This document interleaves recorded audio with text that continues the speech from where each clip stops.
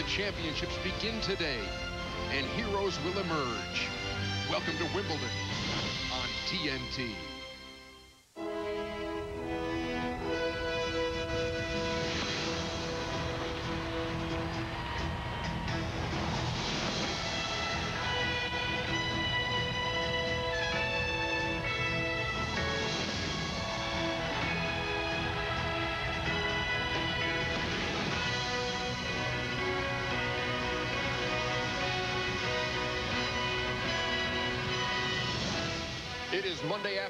London. Big Ben has announced the one o'clock hour. And at the All England Club, it is opening day of the championships, Wimbledon. We have had a string of sunny days here, and there is no rain in the forecast today. The hottest day of the year so far. Moments ago, Pete Sampras, the all-time leading man in Grand Slam titles, took center court. In a few moments, he will begin his quest for a fifth straight singles crown here, which would match Bjorn Borg. You'll see his first round match against Spain's Francisco Clavet live here on TNT. Hello, everybody. Ernie Johnson in our studio adjacent to court 18 for what has been called breakfast, lunch, and dinner at Wimbledon. We're with you for 12 hours today and tomorrow, 8 a.m. to 8 p.m. in the East. And in all, over the next two weeks or fortnight, there I've said it for the first time, we'll bring you 83 hours of coverage on TNT. If you're home today, settle in. If you're off to work, we'll be here when you get back. And some of the featured matches today on opening day, the remarkable comeback story of Jennifer Capriati continues. She meets the 110th ranked player in the world, Maria Vento, today. The 1997 champion, Martina Hingis, taking on Virginia Pascual of Spain. And Andy Roddick, if you haven't seen this kid play, he plays on court 18. He's only 18 years old. He's uh, a phenom taking on Ivo Heuberger of Switzerland. We already have a result. Play began about an hour ago. All right, it took 39 minutes for Serena Williams to win her first round match. She feasted at lunchtime on quiche. Rita Kuti Kis of Hungary. 6-1, 6 love barely breaking a sweat. Meantime, a battle of Americans on the men's side today. Jan Michael Gambill and Chris Woodruff.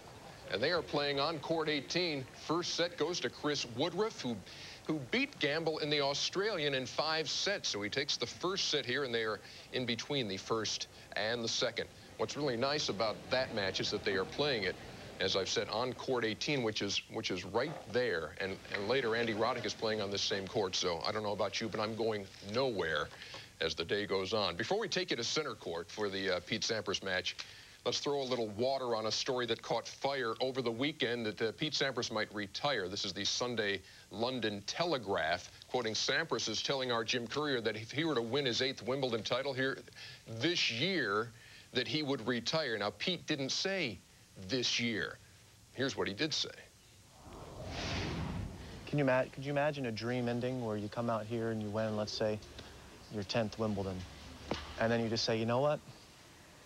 I've had enough. I'm walking away after I win. Would you be able to walk away after you win, or would you have to wait until you weren't winning anymore? No, I could walk away uh, after a win. Yeah. And I, you think you dream about how you might end it, you know, and and you love to, to play your last match here and win it. I mean, that would be a great way to to end your your run at Wimbledon. Um, you know, it's just like if it's Jordan, and he's coming back, so it's uh, it's hard to say. But and you have the seniors to look forward. To. That's to. right, senior tour. Uh, but yeah, in a in a, a, perfect scenario, you'd love to play your last match here and win it and, and call it a career. Um, but who who knows what the future, uh, you know, what's going to happen? So we'll see. So you can uh, hold off on that balloon bouquet that says, uh, good luck and uh, we'll miss you. Uh, it's not going to happen yet. Meantime, uh, Marv Albert standing by at center court along with Scoop. Yep. Uh, what's going on, guys? All right, thanks, Ernie. Jim, now that we've cleared up the misquote, once again, you are swirling in controversy. That's not fair, Marv. Clearly, the British press are at it again. Um, you saw for yourself, Pete Sampras is going nowhere, but trying to win his eighth title here. he's ready to keep playing for a while. He doesn't even know when it's going to stop. All right, on, on this on the subject of the success of Pete Sampras, uh, here he's gunning for a fifth consecutive Wimbledon crown. As you mentioned, looking for number eight. Has not been playing particularly well coming No. in. What's his mindset? It, it really really doesn't matter, Marv. When he gets here, his serve just takes over for him. You see him, look at his breakpoint record. 93. Well, there's only one guy that can really dominate on his serve, and clearly that was me. but, I mean, look at Ivanisevic, who he hates playing here. 0 and 2 in 94, 2 of 9 in 98. If you can't beat, if you can't break Pete Sampras' serve, you're not really going to beat him because he's tough in tiebreakers, and that's been the key to his success. He's just really hard to break on this surface. And a look at Pete getting ready for Francisco Clavet, the 32-year-old out of Madrid, Spain. Now, a year ago here at Wimbledon, injured, barely practicing during the course of the week. Sampras reached the finals against Patrick Rafter. A double fault cost him the first set tiebreak 12-10 down 4-1 in the second tiebreak. He rallied, was able to square the match and then took it in four, setting the all-time men's Grand Slam mark of 13 singles titles. Celebrating with his mom and his dad and his fiance, now his wife, Bridgette Wilson. Uh, that was just, uh, he, he was really, really close to losing that match, Marv. He, he was down 4-1 in the second set tiebreaker, and with his bum shin that he was hobbling on the whole fortnight, if he doesn't get through that second set tiebreaker and he's down two sets to love, I don't think there's any way Pete Sampras was going to climb back out of that hole. We've been talking about Pete career title 63 which is climbing up closing in on Connors but he's got quite a way to go. You see that he's 22nd on the champions race which is uh, how he's doing year to date so far. So clearly not his best year leading into Wimbledon. Um, but once you get here none of that really matters because Pete Sampras is a totally different player on this surface. Uh, he has the fear factor in the locker room. Guys are afraid of Pete Sampras unlike the French Open where guys consider him to be a good draw when he comes here, Pete Sampras walks into this court. People are seeing he looks like he's about seven feet tall out there. And Francisco Clavet coming out is a clay courter in general, although he has had success on the hard courts later in his career. And at 32 years old, he's really uh, he's really come on late in his career as an all-court player, but grass is not his surface. He hasn't had great results here. Um, he's having a decent year. He started off very well, but he, he's had an injury as of late, Marv. He, he had to pull out of a warm-up tournament uh, over in Halle, Germany, uh, two weeks ago with an injury. Had some tendonitis, um, but here he is playing Wimbledon. One of the few Spaniards here.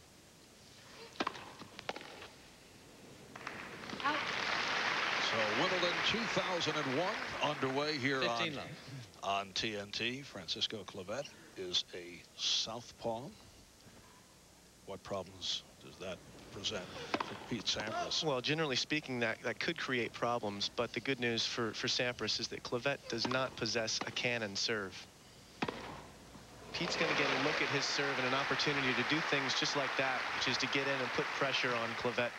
Didn't do enough with that one, but this is the first game of the match. These guys are just warming up. This is, I don't look for these guys to come out firing away straight away. Probably a little nervous on both sides. This is the fourth time that they have met. Sampras winning the previous three matches. Yeah, he's going for the uh, the career slam here against Clavet. He's beat him on the, the other three surfaces. He's beaten him on clay, hard, and indoors. If he can beat him here, he will really be his, uh, as the tour players like to say, pigeon. Oh, If you beat a guy three times running, he's your pigeon. Beat him four times running on four different surfaces. See, knowing the kind of guy you are, I know you would never bring that up to an opponent. Not unless uh, they were my pigeon.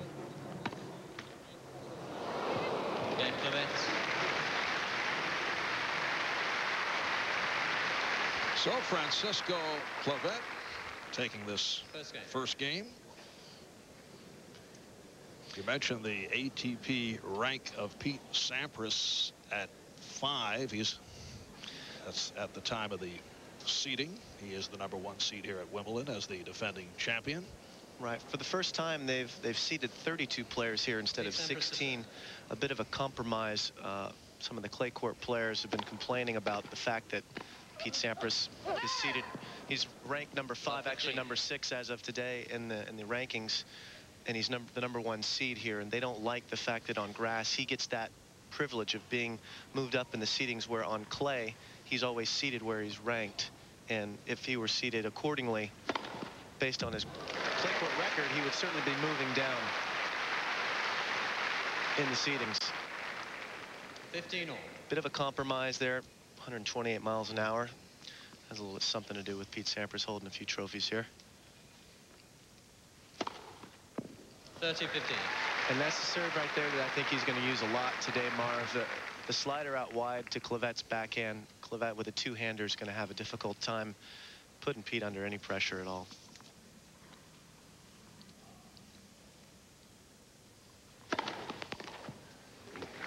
Just picking on the backhand. Clavet bothered by tendonitis in his left 40, shoulder for the most part during the European clay court season, winning only three of 12 matches. Uh, which is rare for him because that's a surface that he should excel on. Luckily for him, he did play well in the early goings of this year, so his ranking is holding in there.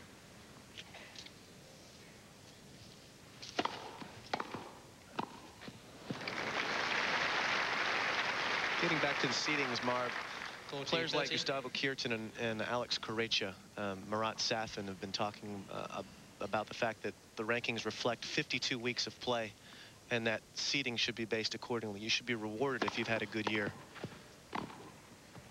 Regardless of the surface, And Sampras. as we see Sampras hold serve for the f- first time this year, but probably a few more coming. hasn't dropped One serve game. since the second round of last year.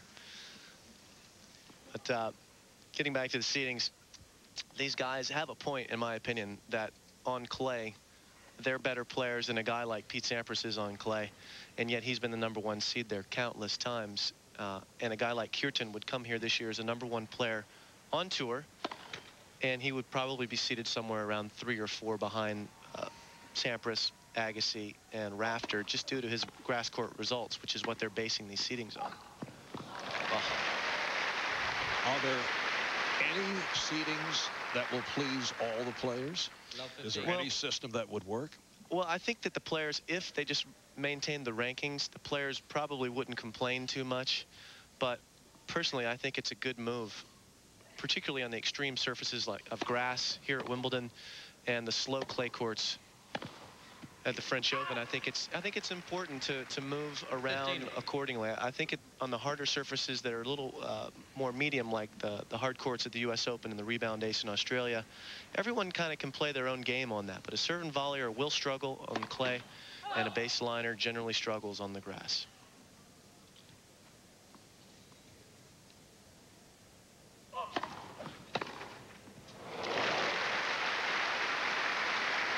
Pete's starting to find the range. 97 mile an hour second serve is not going to bother him a whole lot.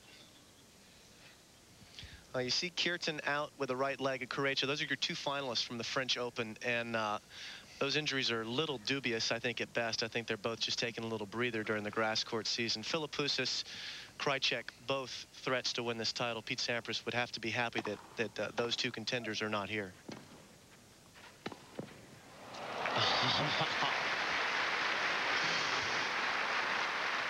that is pretty.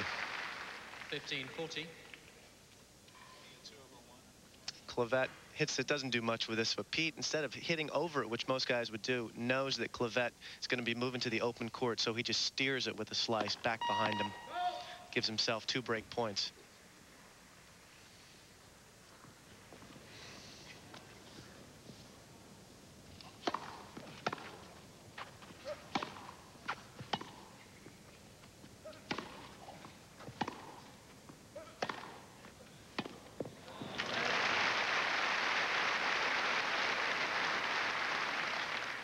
Thirty forty. Pete not really being aggressive on that point, but probably not feeling like he needs to. I think he might have been a little surprised that Clavet even came in on that.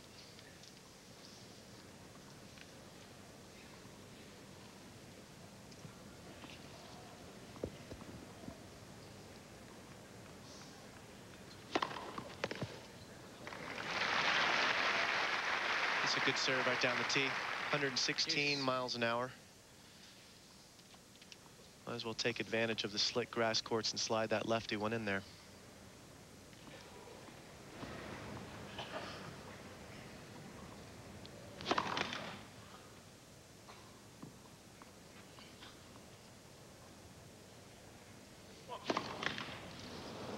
Advantage Sampras. First double fault of the match.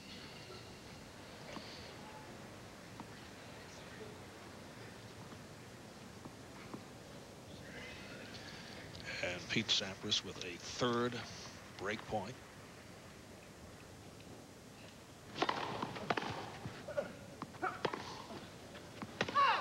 Game Sampras.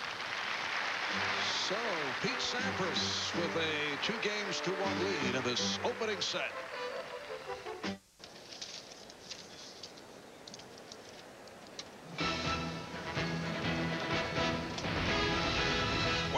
To center court at Wimbledon. Pete Sampras, the defending champion, in his opening match against Francisco Clavet, 32-year-old out of Madrid, Spain.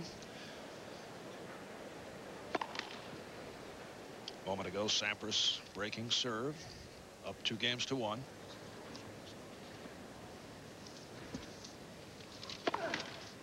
Love 15. Pete's on the sunny side now as a right-hander. He's got the sun right where his ball toss is, so we might have to adjust that for the next few hours. But if anyone's used to it, it's Pete, although he is playing an hour earlier this year for his opening match. Generally speaking, it's a 2 o'clock start.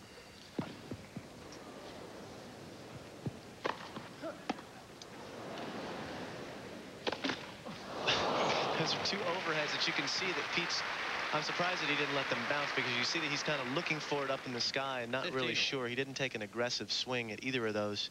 It's more of a hidden hope. That situation, I like to let the ball bounce so I don't have to worry so much about the sun. And apparently the fans have adjusted to the uh, the new starting time. It's a packed house here at center court. When you got center court tickets, I think you get here early. Not so easy to come by. Let's. particularly on Second a day as, as warm and beautiful it is as it is here today. You know, you see the weather coming in early, beautiful leading into the tournament. You just think to yourself, oh no, it's gonna. As a player, you, it's gonna catch up to us at some point. 30 15. As Ernie mentioned earlier, 85 degrees, hottest day of the year at Wimbledon. And uh, shall we say, no rain in the forecast. I think that's a safe bet at the moment.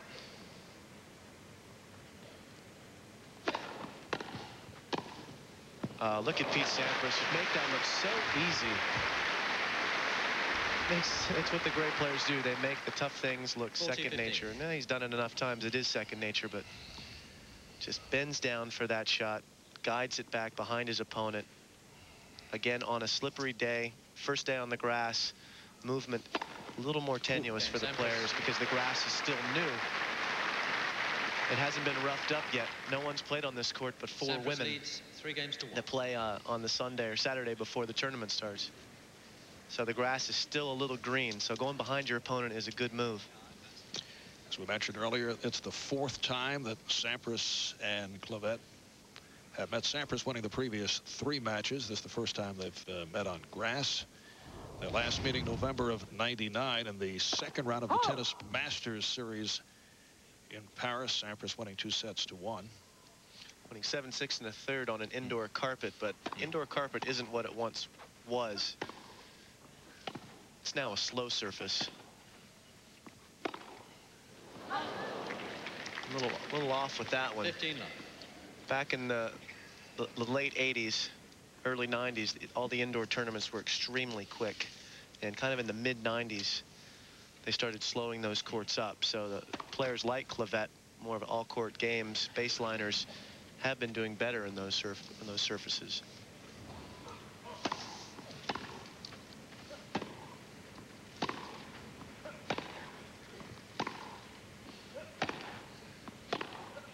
Uh, do not go to Pete Sampras's forehand when he leaves it open over there. He's just luring you. He's baiting you to go 15 there so he can run over and do just this. Spank. No chance.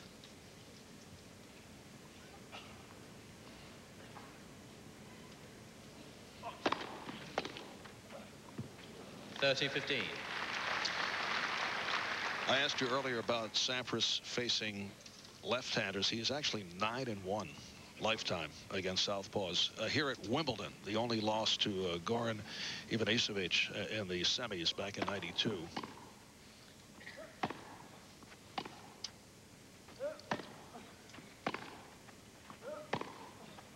Well, Pete hasn't lost to too many 30. people, period. Right. Here. Did you adjust for Southpaws? You know, I like playing southpaws actually, Marv. Uh, I uh, I was able to to play a lot into their backhand corner, which is generally the forehand corner, obviously for the right-handed players, and then open them up, go to their forehands. And most players are used to moving to their backhand side to kind of defend that. And 40, I 30. reverse psychology went to their forehands a lot, opened them to the backhand, then went to their forehand for the kill shot, and that seemed to work for me.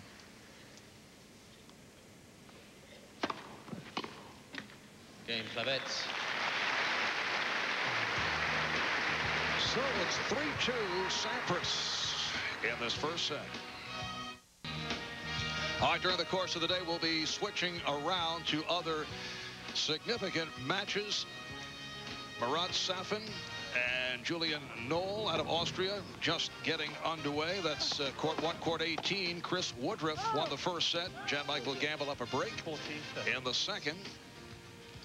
And here on center court, Pete Sampras with a three games to two lead in the first set against Francisco Clavet of Spain. And the whiff on the return. 116 mile an hour second serve there. Uh, off the line, you see the chalk fly. Perhaps a little bit of a bad bounce there. Sampras will change up so effective throwing different speeds at you. He can. 30 love. He goes. He'll go with a 116 mile an hour second serve. Then he'll come on the same side. He'll go out wide with a 99 mile an hour wide serve. Keeps you honest like a pitcher. It's what. It, why? A couple of the reasons he's is effective. That's one of them. Another one is that his ball toss is the same for every serve that he hits. Ooh. That's a nice little pickup by Clavet. Sampras can hit the one down the tee and the 30, change up out wide, the slider with the same motion. You just have to guess eventually.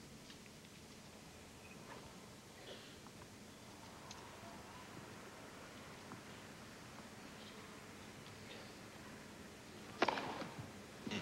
See Clavet moving over to cover the down the middle serve there. Guessed wrong. 40, 15. Number five in the ace department for Pete Sampras.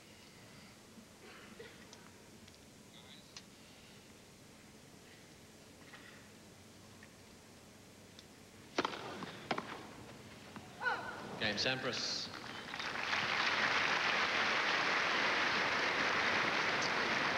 So Pete Sampras now up four games, four games to two. to two in this opening set.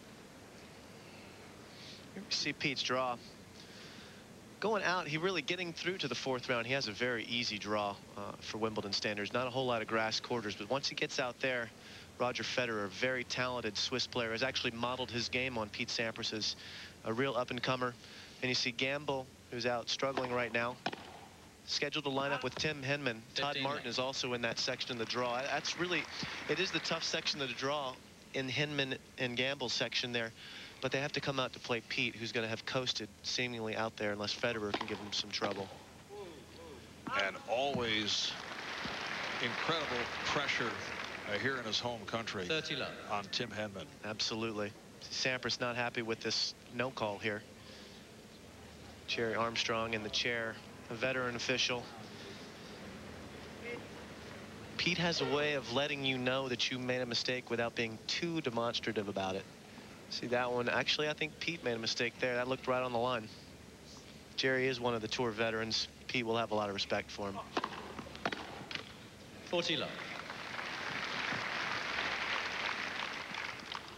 For Clavetta's eighth appearance at Wimbledon last year, won his opening round match and then lost to the number nine seed Tomas Enqvist. Just happy that Clavet comes over to play as so many of his fellow countrymen from Spain who just decided they want to take the month off and prepare themselves for the second half of the clay court season. Game Clavet. Francisco Clavet, hold serve. We'll be back in a moment.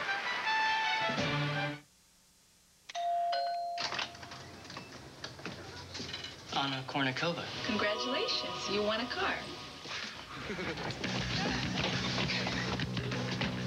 Go to Lycos.com for your chance to win Anna Kournikova's convertible. She'll even join you for a test drive. Did we just leave Anna Kournikova sitting on our front steps?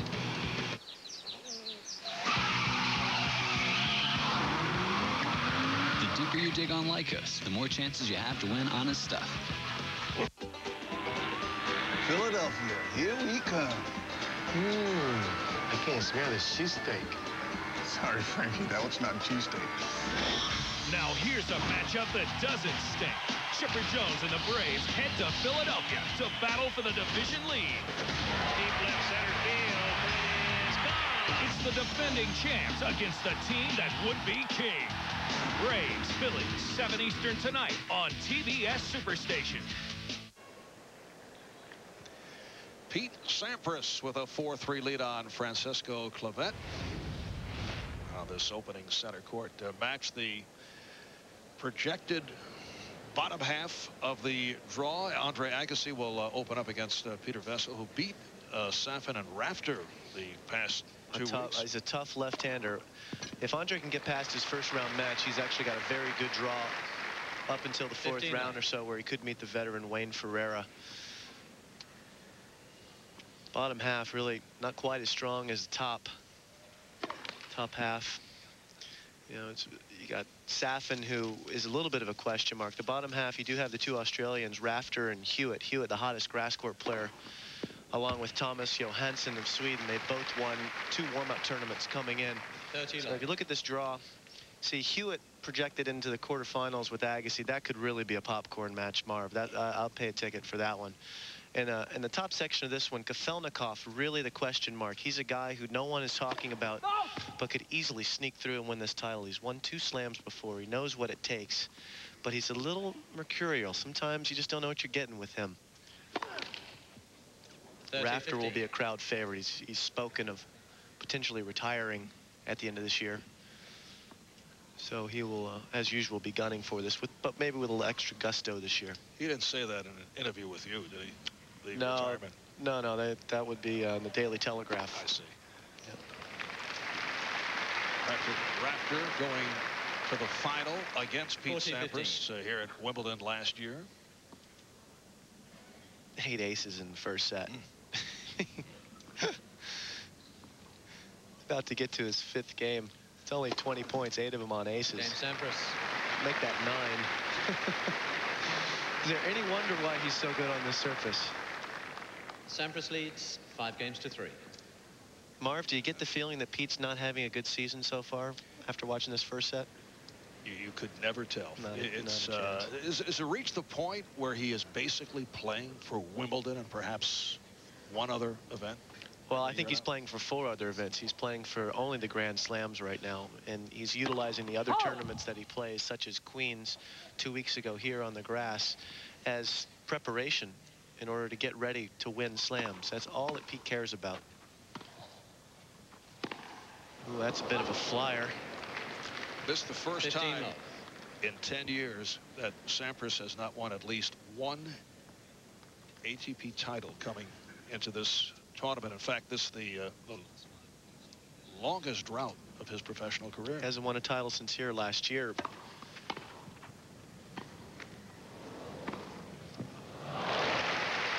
Sweet little backhand down the line. He's had a lot of, lot of things going on in his life. He got married after the U.S. Open. We have to remember that he was one match away from winning the U.S. Open last year. And in my opinion, his legs were taken out from him in the semifinal against Lleyton Hewitt, and then Safin played the match of his career. There's nothing Pete could really do.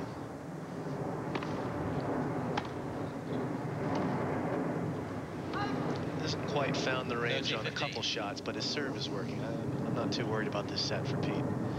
Know, Pete did get married at the end of last year. He didn't play for the rest of the season outside of the, the, the last tournament of the year for that best eight players on tour, the Tour Championships in Lisbon.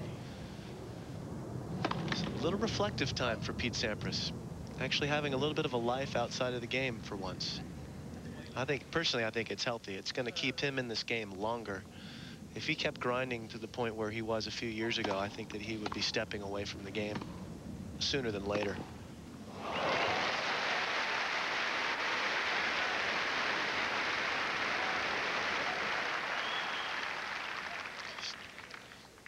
A good play by Clavet, not a bad approach deep. Pete lines it up and puts it right where you'd want to if you were drilling, right in the corner. 19 winners for Sampras.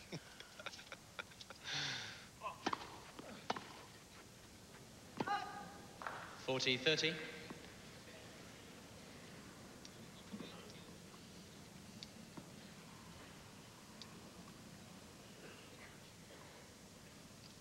Over on court 18, Jan Michael Gambill now up five games to two in the second set. Chris Woodruff taking Dane the first set.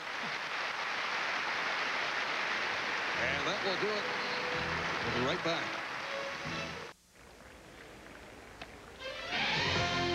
Welcome back to Wimbledon. And on court three, Barry Cowan, Mark Hilton just underway. Cowan is up two sets to love. This is the, the winner of, of this match will play against Pete Sampras.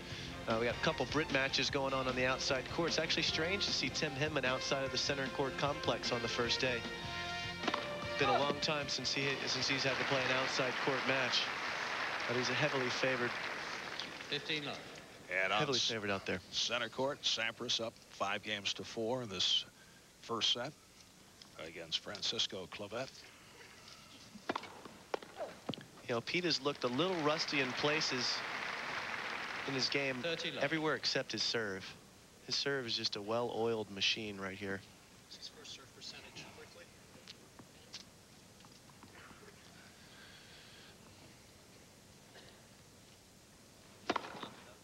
Forty love. Clavet's just he's guessing. He's he couldn't be guessing wrong at every time he's guessing wrong. It seems like 11th ace for Sampras. Serving for the set. And first set, Sampras. That's the uh, the signature move by Pete Sampras, but wisely let it go as he takes this first set. The 2001 Championships Wimbledon on TNT are brought to you by IBM. www.wimbledon.org, the official website of the 2001 Championships, is an IBM e-business. And by Cadillac, the fusion of design and technology.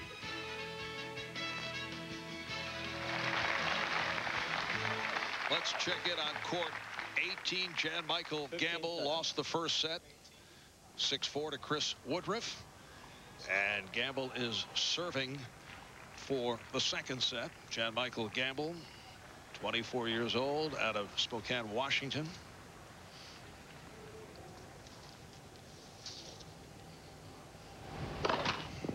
Jan Michael, a quarterfinalist last year, really his breakthrough tournament in a Grand Slam. Playing out against his fellow countryman, Chris Woodruff. And these guys have been battling this year. This is their third matchup this year, and they've had a five-setter in Australia. 15, 14.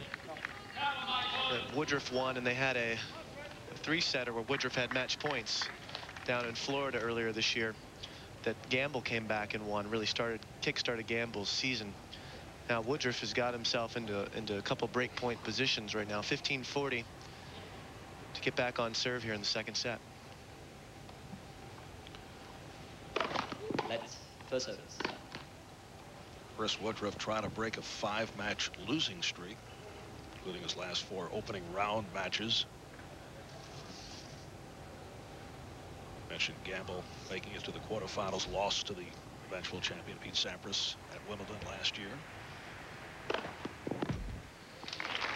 That's a good save there. Big serve down the tee. 30, 14. Jan Michael can bring the heat on his serve. It's his 14th ace. He's tall and he plays with with one of those longer rackets, so he gets a little even a little extra leverage, so he can hit down on the court a little bit easier. Six foot four, 215. Well, that's two good saves right there. I think he uses that long racket actually more because he's two hands on both sides, which gives him a little bit more leeway the back of the court. A little more limited if you're a two-hander on both sides, movement-wise. Jan Michael also in the midst of the best season of his career. He's played very well. Oh! Really, that match against Chris down in Florida where he was down a few match points there, kick-started him. He, he managed to go on from there, win that tournament, and go on a streak of about four tournaments where he was playing fantastic tennis and always winning the big points, saving 11 match points in, in a string of matches. Perhaps the confidence he gained from from the match against Woodruff propelled him to uh, to hold off on those big pressure points, but he is playing. He's had the best season of his career so far. Set point, Jan Michael Gambill.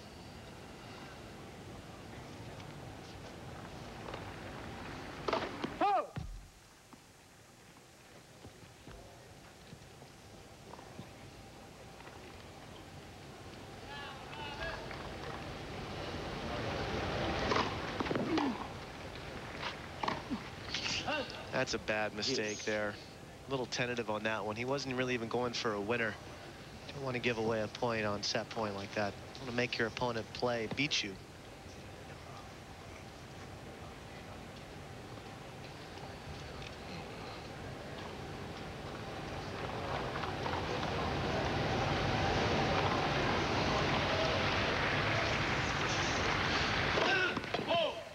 Jan Michael, one of the so-called heartthrobs on the tour.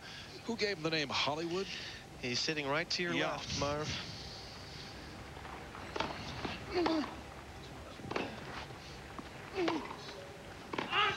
Advantage Gambill. Woodruff missing on his better side there, the backhand. He's got one of the better two-handed backhand down the lines on tour. Gambill's got a very tasty backhand down the line himself, though. Both of these guys not afraid to change the direction of the ball. Bad tactical play there by Woodruff to go cross court instead of going into Gambill's weaker side, the forehand on that.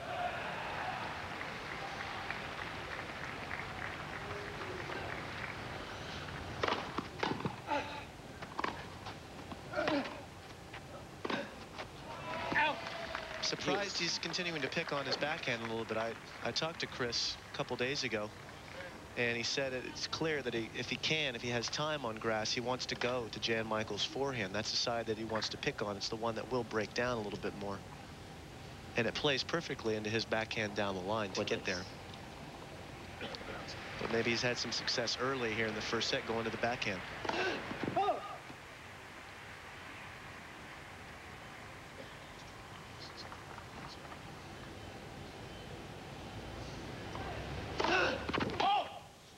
Woodruff.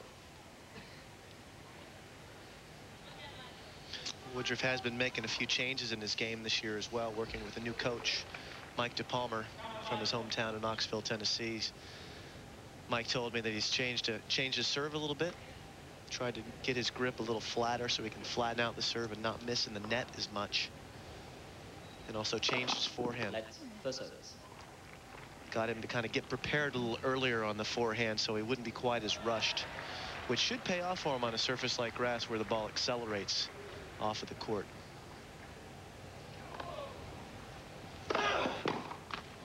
Deuce.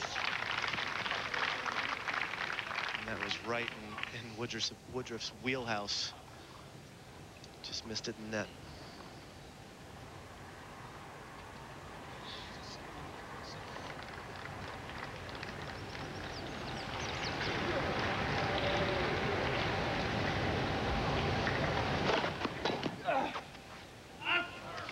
Advantage That's a big serve under pressure. Takes him to set point again. I could hear EJ clapping there in the studio. Did you hear that? Ernie uh, has the vantage point right outside of court 18. That's the uh, the studio setting. Oh. Juice. Unlucky there for the ball to bounce back on the tape. Wimbledon tapes are usually a lot looser than the other tapes around the world for reasons unknown. generally speaking, you'll get a lot of balls that will just dribble over the net here that normally would sit up on other courts. That one came back like a harder net cord. Advantage Gambill. 16 aces. Jan Michael.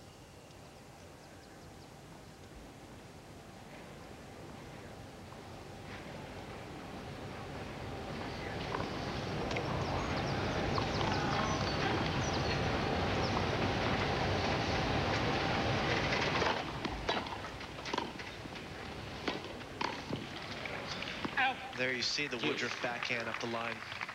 He's got a very simple swing on his backhand. There's not a lot to go wrong with it. Just lines it up, takes a good crack at it.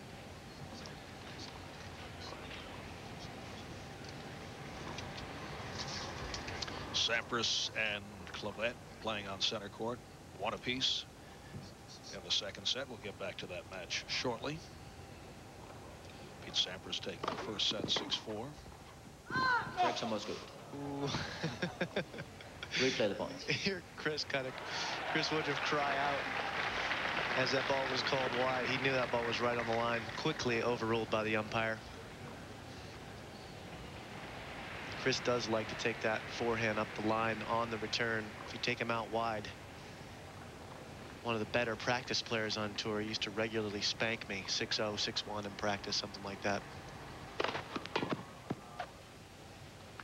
I asked him why, why he didn't play like that in matches all the time, and he said he just he didn't know he felt freer on the practice I court. would think Just- looser, right? No pressure. Most guys are like that. I never wanted to be the best practice player, and I never was. Chris Woodruff, 28 years old, out of Knoxville, Tennessee, All-American at the University of Tennessee.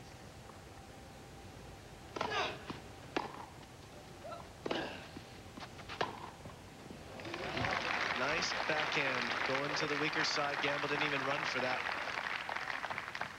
You and Chris played an exhibition match, uh, what, several years ago, helping raise $35,000 for the Greater Knoxville Boys and Girls Club. Thanks for your contribution, Marv. We appreciated that check. That the was check very kind of will be in the mail. that was kind of you. Chris is a hometown hometown boy there in Knoxville. Does a lot for his community. Had I known you in 97, there would have been no question.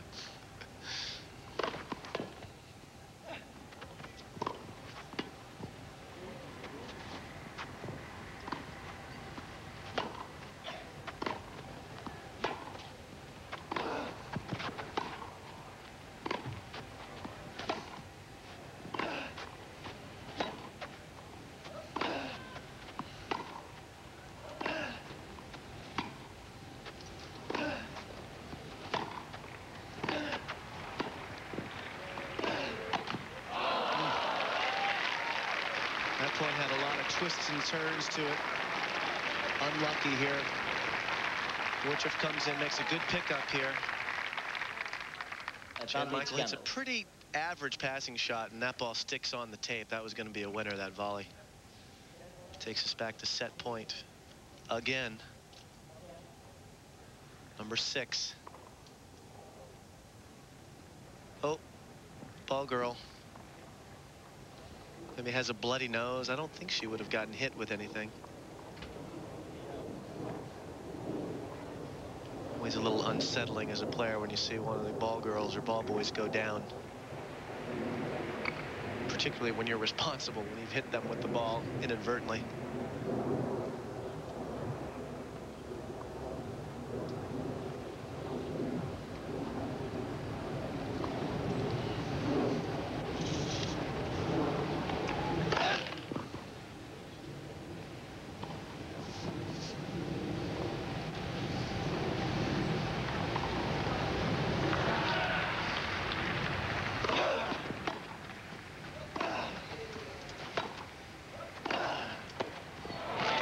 And in second set, Gambill. John Michael Gambill holds serve for the set, and they're tied at one.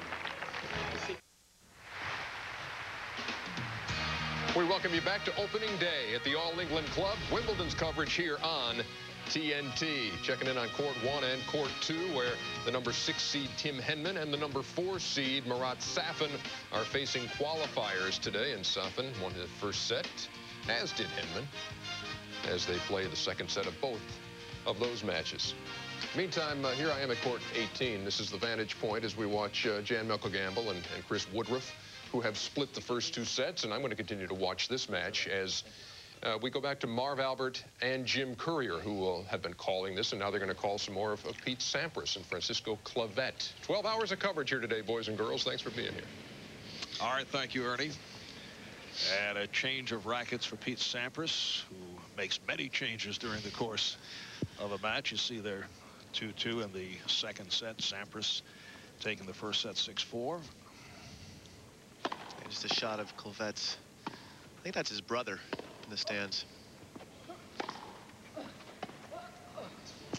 Francisco, one of four children in a, in a tennis playing family. His older brother 15-30. Jose and Francisco have teamed up in doubles play. That's right. His older brother was on tour for quite some time. I don't think he's playing any longer. Good family on tour. Still waiting for our first sighting of Pete Sampras' wife, if the uh, cameras would be so kind, the British cameras would be so kind to show us. 30 all. She's quite good, easy on the eyes up there.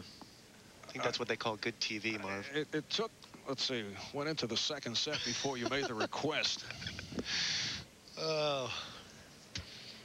Bridgette Wilson, who is an actress. She is a sweetie, too.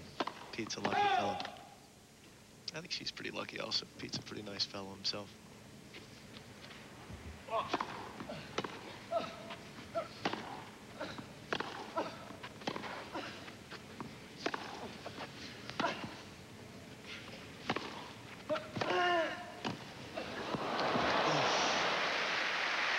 That's a good get by Clavet there. That was stinging forehand by Sampras into the corner. Clavet makes great effort to get over there and put something on 40, that passing 30. shot.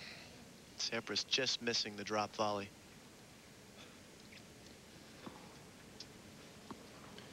Pete Sampras, the defending champion last year, winning for the seventh time. There's his opponent, Francisco Clavet, who's been bothered by tendonitis in his left shoulder for the most part. Game Clavet's. European clay court season. And he's able to hold serve, takes a three games to two lead in the second set. Clavet leads. Welcome back to center court at Wimbledon. Marv Albert with Jim Courier, Francisco Clavet. Time. Holding serve, taking a three games to two lead in the second set after Pete Sampras opened with a 6-4 advantage in the first set. Yeah, Pete not really in too much danger. Hasn't faced a break point on his serve yet. Just kind of biding his time in this set, hoping to get a, a break. Really a, a clutch passing shot by Clavet at 30 all the last game. Saved him. Pete coming out to serve back into the sun again.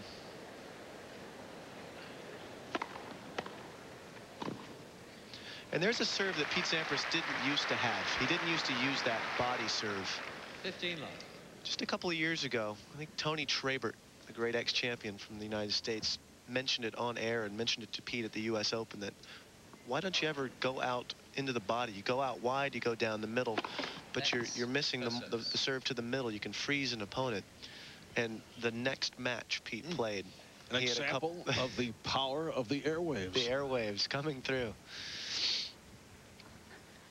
Any suggestions that you would like to offer, Jim? Um, I have no suggestions here at Wimbledon. Perhaps at the French Open. I see.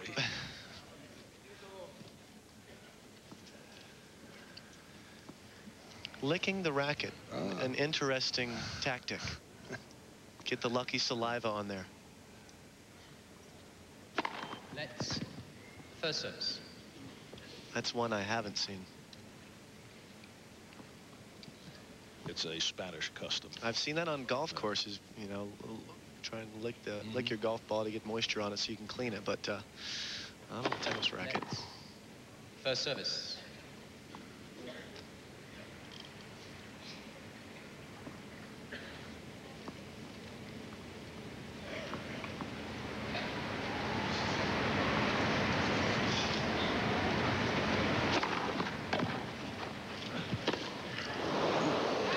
Oops.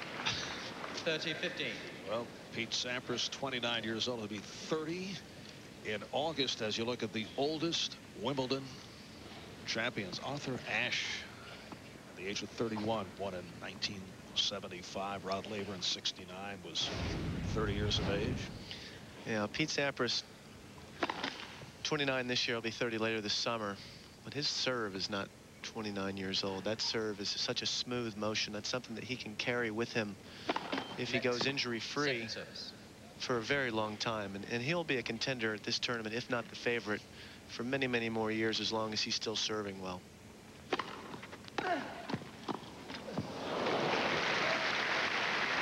Fine return by Clavet there, clipping the tape. Pete couldn't quite handle it.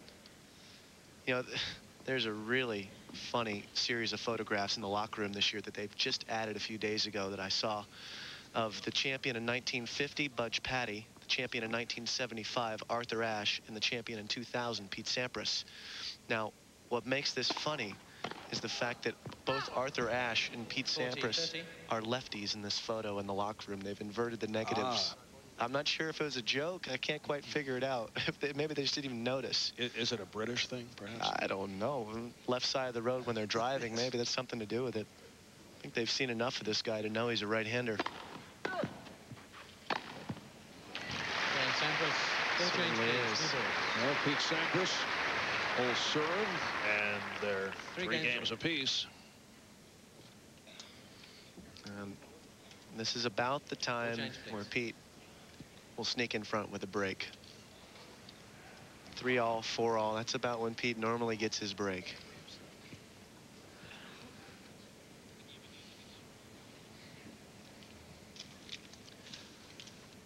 Well, Goran Ivanisevic in straight sets. I know you talked with uh, Pete on tape, an interview that we'll see later on uh, during our Wimbledon coverage, and uh, Ivanisevic was a major topic of, of conversation. Well, I asked Pete who bothers him the most on this surface, and Ivanisevic has been the guy that he's most feared playing here, partly because he's lefty. Even though Pete has a great record on the grass, he's still uncomfortable playing against someone with a huge lefty serve, like an Ivanisevic, like a 15 Rusedski. That one not really close. Pete having a look anyway. Um, and a, the thing that he that really stuck out in my mind, he says that bothered him the most about Goran is that he's very unpredictable. And Pete's right. I don't think Goran knows where the ball's going, let alone you, it's hard for you to guess if he doesn't know.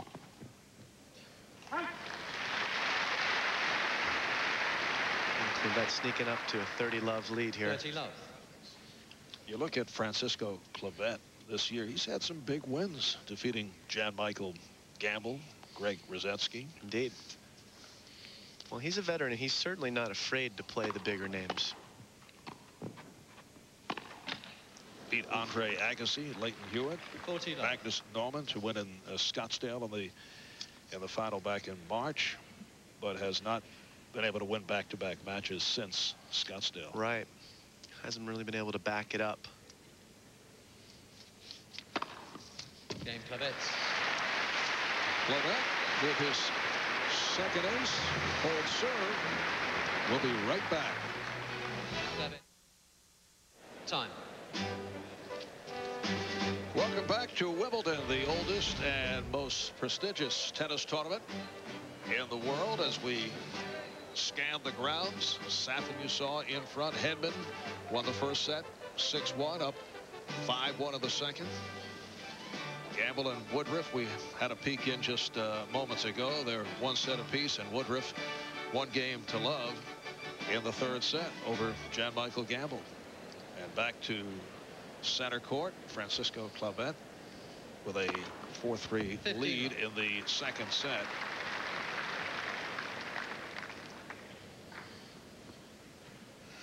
Back on serve here in the second set. No breaks so far this set. Sampras opens up with 128 mile an hour first serve. Jim, what's going on with uh, Marat Safin? Wins the the U.S. Open. I know he's had an injury, muscle pull, but uh, has not not played well. Well, what's happened, Marv, is, is he's been caught. Uh, he's been caught having to play tournaments in order to make a guaranteed amount of money from the ATP. Uh, if he plays certain tournaments, he gets X amount of dollars. And if he doesn't play these tournaments because he's injured, which has in fact been the case, he loses this money. And it's, very, it's a very large amount of money. It's over a million dollars. And there's no penalty for him in the rankings to go play these tournaments. Uh, whether he plays them or not, he doesn't he doesn't really get hurt. Oh, Pete's got that one covered. So what Marat has done is he's gone and he's played tournaments like Indian Wells and Key Biscayne earlier in the season and, and a little bit on the clay where he hasn't been properly prepared.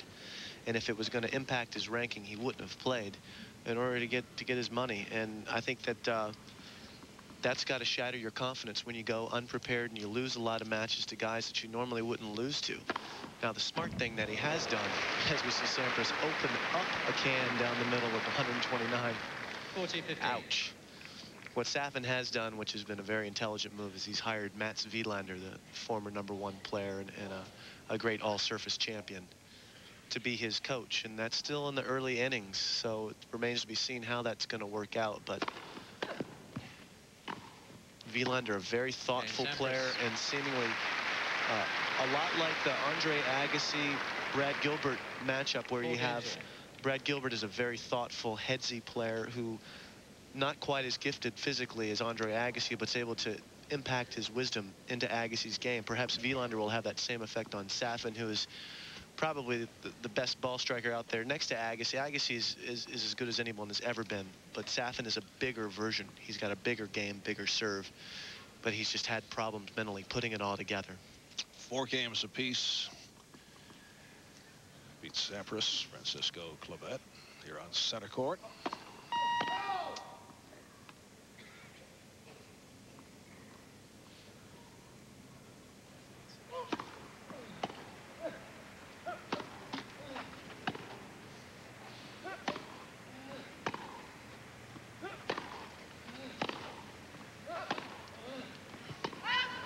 Ball's good.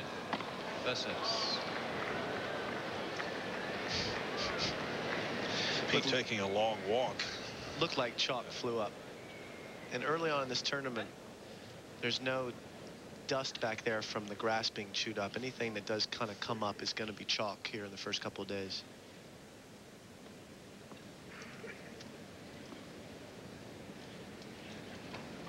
First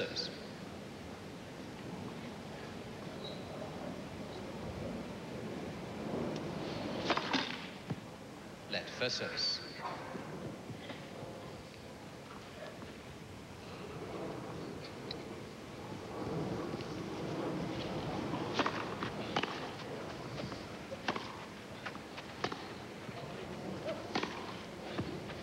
That's a nice play. Surprised Pete with that. Pete was looking for the ball to go cross court. Clavet just held that one. Put it right in the corner for the easy winner.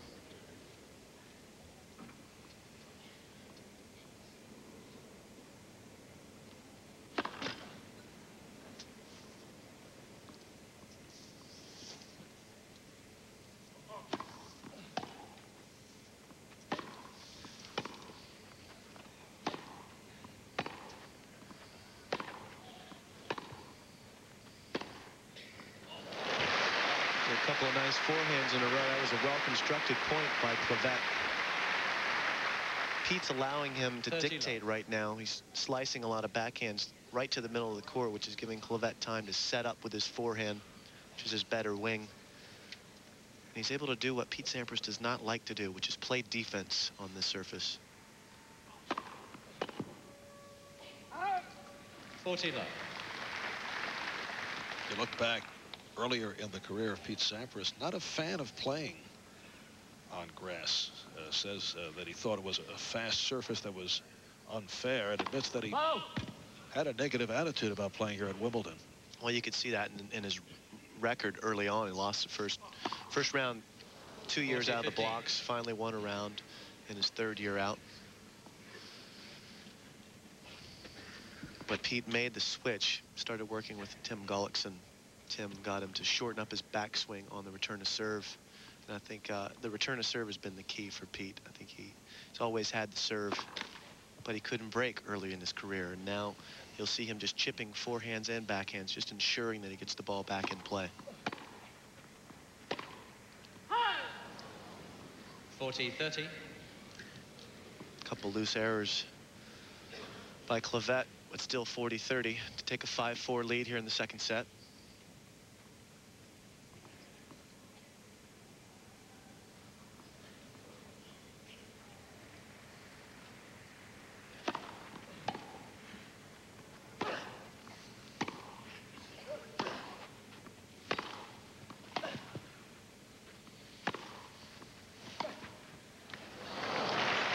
See there, Pete took control of the point with his forehand, was able to switch the momentum, get aggressive.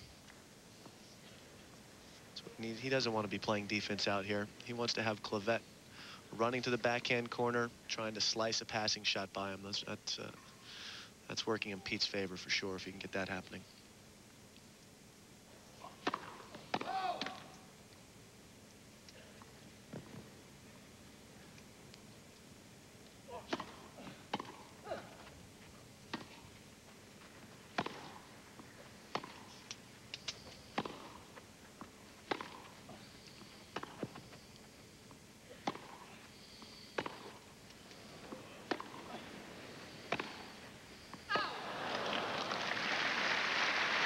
A strange backhand by Pete. That's a shot. The looping backhand is, is not a shot that he plays a lot on grass. He likes that on the hard court to back his opponent off of the baseline so he can take control of the point. But on grass, the ball doesn't bounce up as much, so it loses its effectiveness.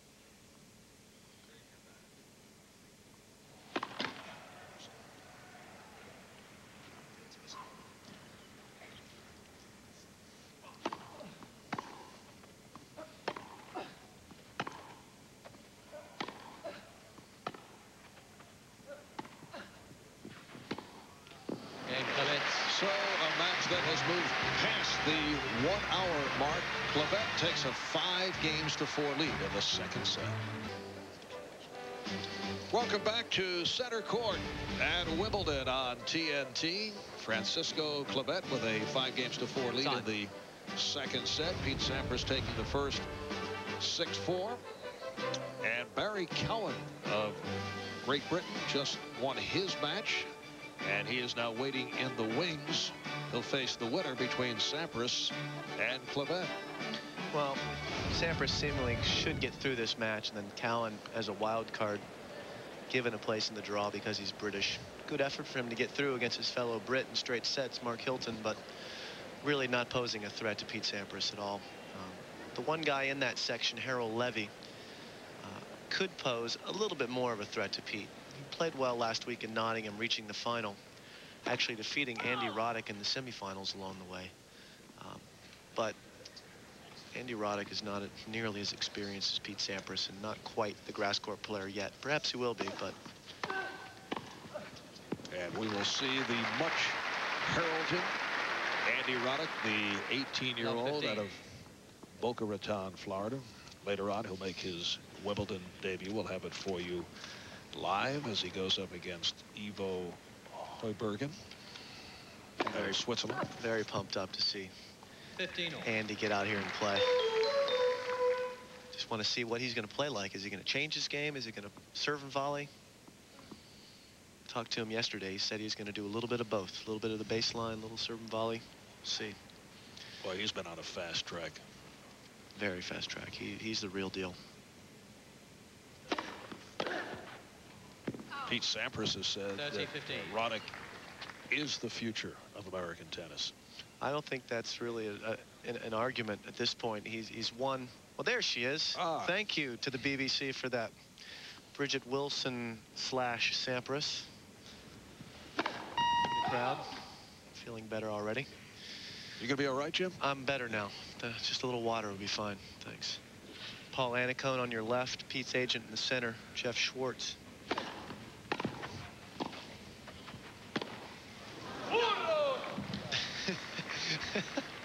Clavet calling out burro or donkey. oh, there's another word that I could use, but uh, this is a family program in Spanish. Um, Andy Roddick, back to the subject, is without a doubt the real deal. He's won two tournaments here, and really his first season on tour, and showed an affectation for playing in the Okay, big Sampras. moments. As we see Sampras close up to five all. This one could be headed for a tiebreaker. Five games. Roddick, in, in fact, beating Sampras in Miami on the center court at the, the match uh, tournament at Key Biscayne, beating Michael Chang on the center court in the French Open. You see, ranked 88 at age 18. There's a couple couple youngsters in there I'm familiar with. Yes. Well, I was the first one into the top 80 and the first one out of the game. Let's first service. Like I say, they're Is there dog a years. on- correlation they're, there? They're dog years on tour, Marv. Everyone counts for seven. I'm really about 65 years old. Let's first service. But Roddick was the fastest of all the young Americans that you saw there to, to win a tournament. took him 10 tournaments on tour before he got his first victory. And he seems to love the big moment, which is all you can really ask.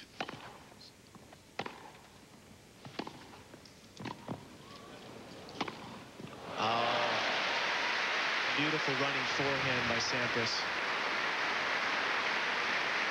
Pete just taking that slice right here, getting himself back into the point. Clavet's got a volley up to him, and now Clavet covering the open court. Pete just kind of hooks that, just puts a little side spin on it so the ball hooks back into the court for the easy passing shot.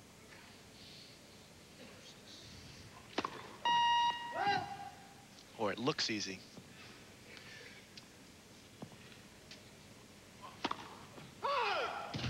Love 30.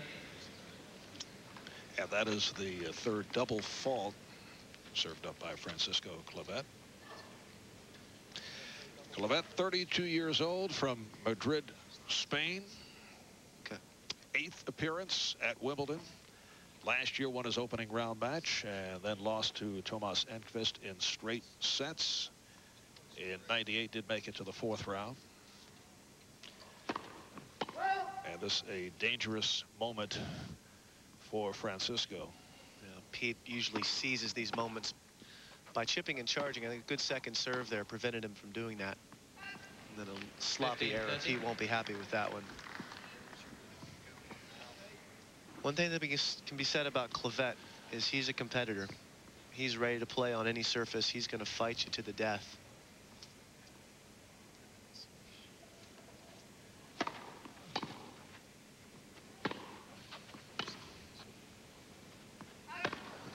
Uh, thirty all.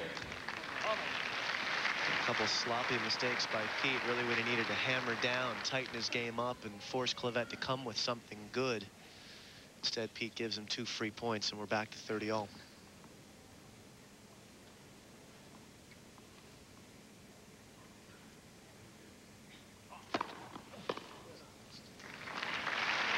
Could just be a little rust in the game. Still, 40, 30. It's not a big serve at 109 miles an hour. That's a sub, subpar serve on tour these days.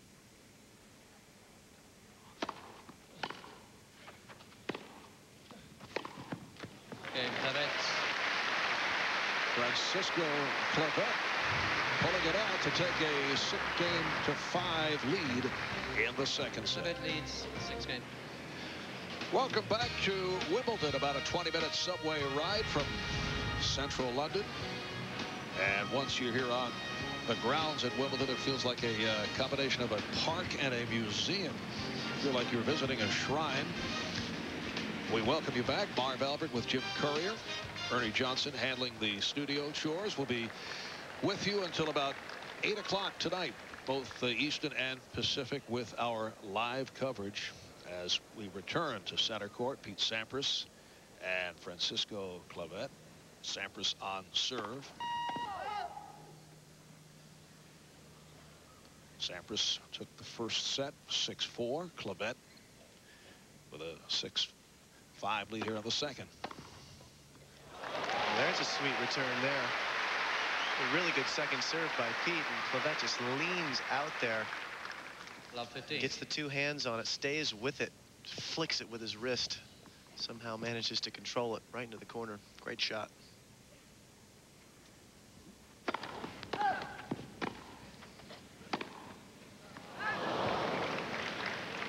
15 Clavet really trying to force the issue. That was a great return off of a really tough serve by Sampras up the middle. And for a little extra down the line, knowing that Pete was in position, couldn't handle it.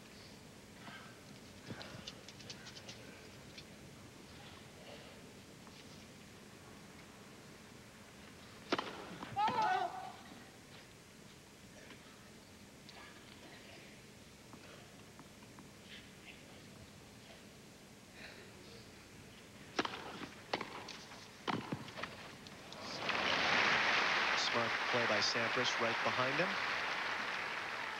30-15. Clavet kind of slipping and sliding on that one as he tried to change directions.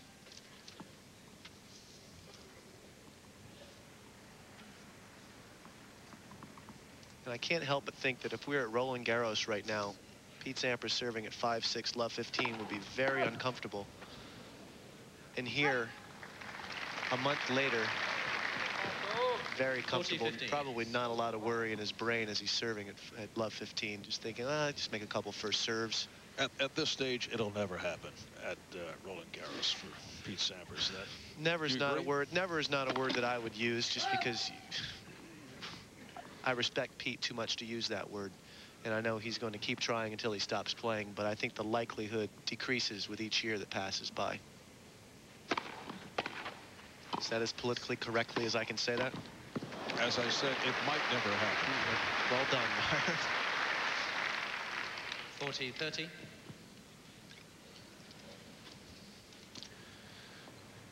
Uh, checking some of the other matches that are taking place elsewhere on the grounds. Safin and Knowle now five apiece in the second set. Safin won the first. And Tim Henman having an easy time against the uh, qualifier from Moscow, the 21-year-old Artem Derepasko. He'll be ready for tea here very shortly. And we're ready for a tiebreaker, Yeah, Mark. Sampras holding serve, six all. The first of probably many tiebreakers over the Six fortnight for Pete Sampras. set, tiebreak. First player to seven wins it, but you must win by two points. Getting a scan of the Royal box here. See in the pink there is a singer named Cliff Richard, who's kind of uh, an Elvis type personality over here and a huge tennis fan. And a natty dresser, I would say. 1-0, Clavet. One thing Pete's going to have to do is tighten up his backhand return because he's giving away too many points on it right now. And Clavet seemingly going exclusively to the backhand, and why not if Pete's missing the return? Now two serves for Sampras. We're in the tiebreak. Second set. Sampras taking the first 6-4. 1-0. Fires the ace. That is number 15 for Sampras.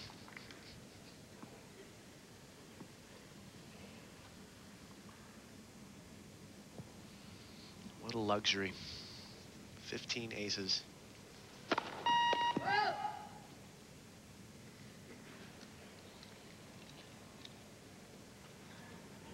Fifteen aces is a good tournament for Francisco Clavet. It's like Pete wants to change a change a racket right now, which is most players would hate to change rackets in the middle of a tiebreaker because you just don't. Sometimes it takes a point or two to to get used to the tension again. Pete here choosing to get a fresh one rather than risk breaking a string. He can see on the gut strings that it's starting to fray, and he might break one in the breaker. And he'd, he'd rather not risk breaking one and just pull out a fresh one. Pete thinking that they weren't going to call that one 2-1, out, but he did get the semi-late call. Pete's never had a problem going, pulling out a fresh racket and coming out. I've never seen him have doubts about it. A lot of players, myself included, would wonder the first couple points, get used to the grip, get used to the tension is a little different because your, your strings generally loosen up when you play with them for a while. You'd like to warm up. Generally. But uh, Pete Just goes out and fires. He's got so much self-belief. And I would think he leads the circuit in changing rackets. I would say so. Two all. That one just out as well. So in this tie break, they're two apiece. He probably breaks more strings or has more rackets strung than anyone on tour all year. He strings about seven or eight rackets up before each match. Going through a lot of gut. Oh,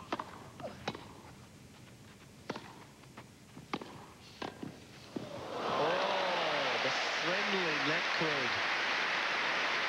A good stretch by Clavet off of a good, good Sampras pass down the line. Pete stays with that, hits it firm, and that one just two, off the top of his frame. That's well done.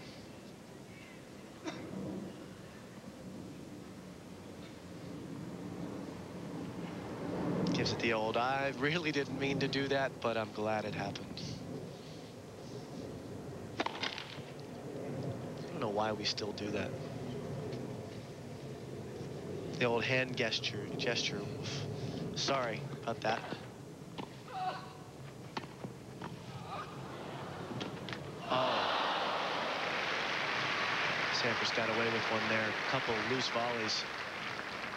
Three.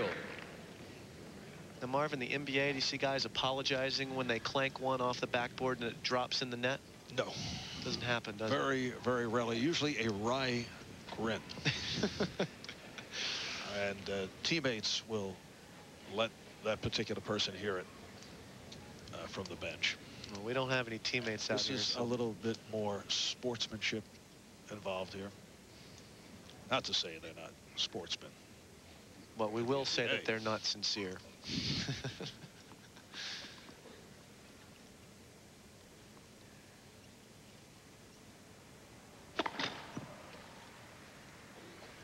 We are coming up on 2.30 in the afternoon here in London.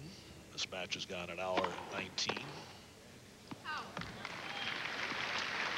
We're in the tiebreak, second 4-3, set, Sampras. and Pete Sampras has taken a 4-3 lead after winning the first set 6-4.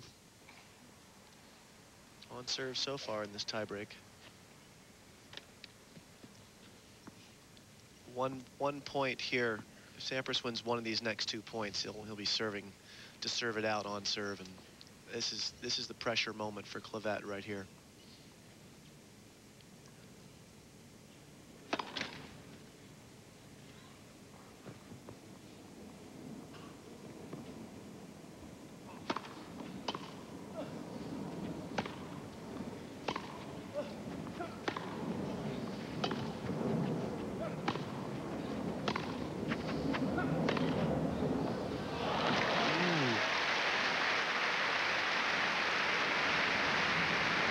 Gutsy forehand by Clavet. Takes it right up the oh. line. Let's see where this one goes. Right on the line. Fine shot under pressure. Four all.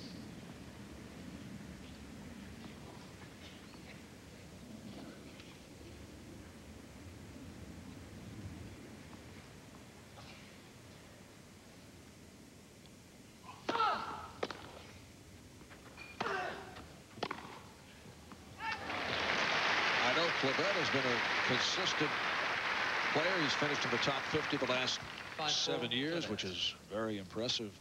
But is this a, a surprise here in this opening round match? Well, I think Clavet's best chance against Pete Sampras is going to be in the opening match because once Pete gets underway at this tournament, as we've seen by his record, he's virtually unbeatable. So for him to be in a tiebreaker right now in the second set doesn't surprise me. If we're to win it, I'm going to be a little surprised. Pete handles that volley with ease. And we'll get a set point for somebody Five after all. this one. It's five all. But frankly, I was a little surprised that Pete, at 4 3-4, Clavet serving to Pete, wasn't able to get to net. He was in a baseline rally, and I thought that's the moment. Get into net, put pressure on him, make him beat you with a passing shot. All right, 6-5. Pete's done his job on serve. Six five. Now he's got set point to take it two sets to love lead.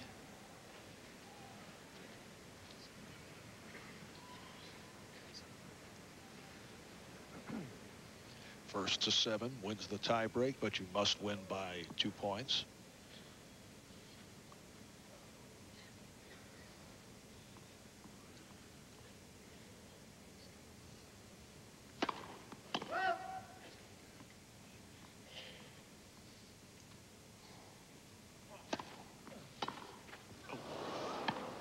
Oh, look at that.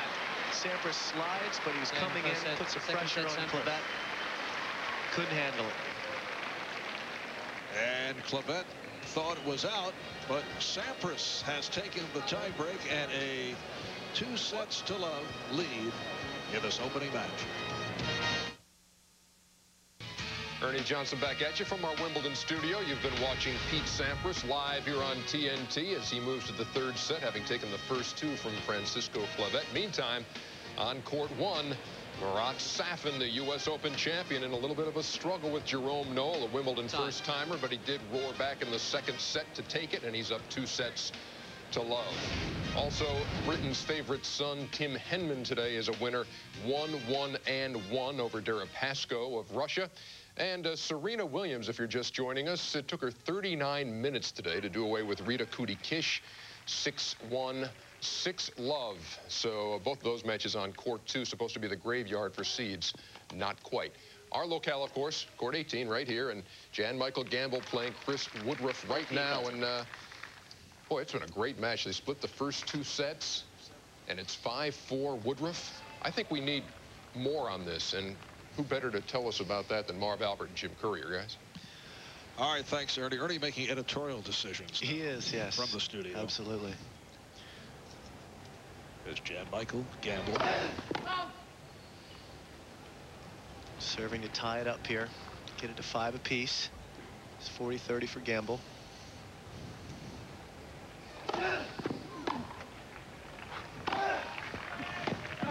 Game. Gambill. This guy's just doing battle out here. This one could go a while. Well, we're talking about the matches out on the graveyard court, court number two. But all that court is right now is a little breakfast court. There's a lot of bagels and breadsticks going on out Yeah. there. 6-0 and 6-1. We've got a match here on court 18. Jan Michael Gambill seated here for the first time. One of three Americans seated among the top 16. The others are Pete Sampras, Andre Agassi, and this is 28-year-old Chris Woodruff out of Knoxville, Tennessee.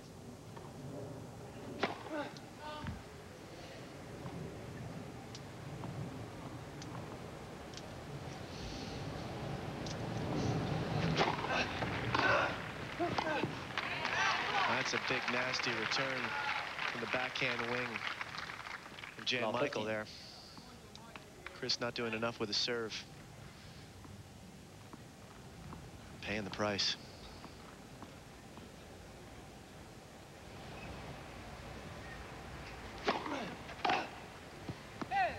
Fifteen. But that's the side he really wants to, to look to go to. See, Gambill's a two-hander on the forehand side as well as a backhand, but he's gone to dropping to a one-handed forehand on his return to serve to give him a little more, just a little more leverage, a little more reach going out wide. Just it's a good decision as far as getting reach. I'm not so sure that he returns quite as well. with 30, it. 15. Based on his results this year, though, I think it's uh, that's probably been Yes. a wise decision. He has had a superb run, Jan Michael Gambill. Best season of his career winning at Delray Beach back in March, reaching the final at the Ericsson Open in Miami, losing to Andre Agassi in the final. And he's made it to the quarterfinals or better in seven of his first eight tournaments of the year. That's a fantastic start to the year.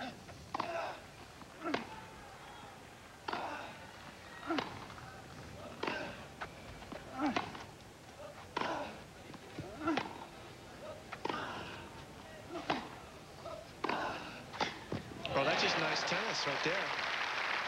Guys working the whole court.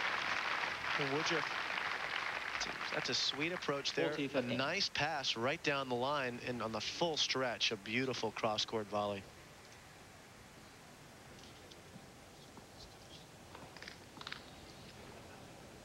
These guys played in Delray Beach. We've talked about that earlier. Woodruff having a few match points, eventually losing to Gambill. Gambill going on to take the title and, and all those great results you talked about, Marv. Unfortunately for Woodruff, that match seemed to have sapped a little of his confidence, Okay, going one and six since then. But he's in this one. Six five, games third set. five. Third set.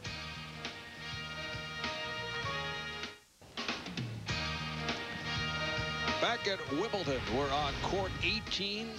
Chris Woodruff going up against Jan Michael Gambill, and Jan Michael has come a, a long way over the past five years. Looks a lot better than most of the stocks I own, Marv. He, uh, you see here in 1996, right when he was getting started on the tour, Jan Michael really worked hard on his, not only his game, but he worked hard on his body and got stronger. He was a little slider guy back in those days, but he's just been consistently working and working and improving his game, dropping to the one-handed forehand for the return to serve, seemingly working for him based on his ranking, and it's just a question of confidence for him. 15 love. We Jan talked earlier. Go ahead, Marv. We, we talked earlier about Gambill's ability to come back and save matches down match point 11 times on his stretch all the way to Key Biscayne. And that's just confidence. 30 love. That turn your season around winning one or two of those matches. Boy, you win four or five where you're down match point. Ooh, that's going to give you a lot of self-belief. This is ace number 20 for Jan Michael, who's trailing six games to five in the third set.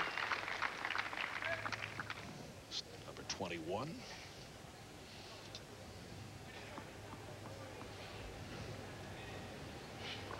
Ah!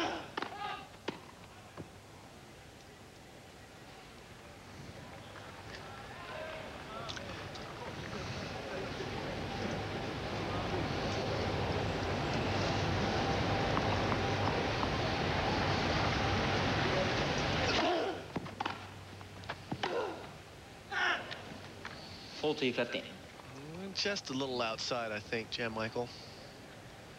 It's not a bad play at 40 love, though. You can take a little more risk.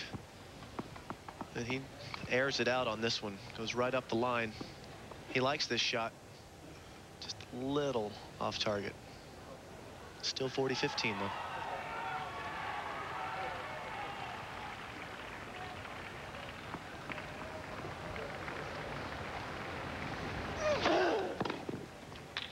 Gambill. So we're headed for another tiebreak. Earlier we saw Sampras and Clavet Six games in a- Third set tie. in a tiebreak.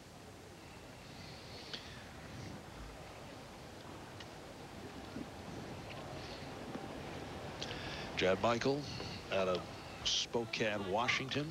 Actually, Colbert, Washington, about 20 miles outside of Spokane. See last year, Jan Michael with his best result here to date in the quarterfinals. Some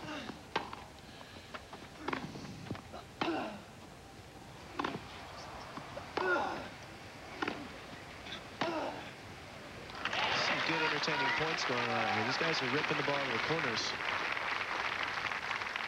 And a look at Chris One, Woodruff zero. Out of Knoxville. This is his fifth appearance at Wimbledon. Last year he lost in the opening round to Gustavo Kuerten in four sets. You know, Chris had a, an interesting knee injury, kicking a football that took him out the whole entire 1998 season. And it's nice to see him back on tour. He has made it back from arthroscopic knee surgery. Sprained the knee. What, at a high school football field in Atlanta? In Atlanta, kick- Kicking away. kicking with fellow touring pro Richey Reneberg. One. That was a little tight call there. But we're back on serve, one all here.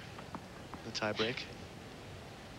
How do you explain that injury to your coach? Uh, you don't. Kicking a football. You come up with uh, with some kind of excuse of you're training really hard on the field, running on the track, and there was a pebble. Something came up.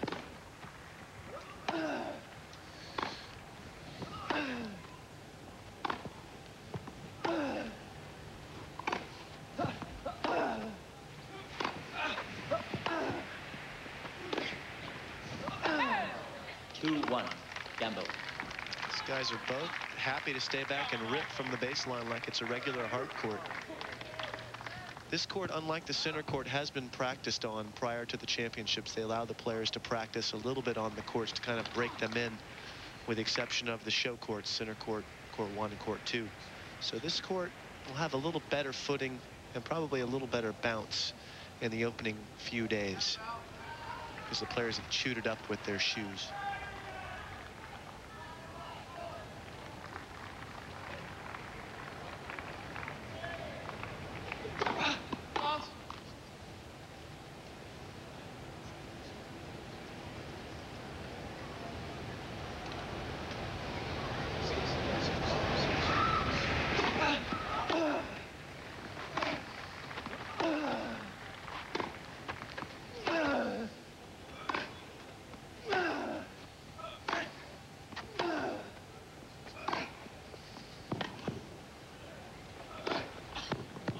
That's just nice tennis. Woodruff just working the corners, running Gambill side to side, just cracks this backhand right into the corner. Hollywood does well just to get there, and then Country, going to use their nicknames in this point, takes it right into the corner for the winner. Country Chris Woodruff and Hollywood Jan Michael Gambill. Jan Michael featured among the 50 most beautiful people in the world by People magazine. Hard to argue with that.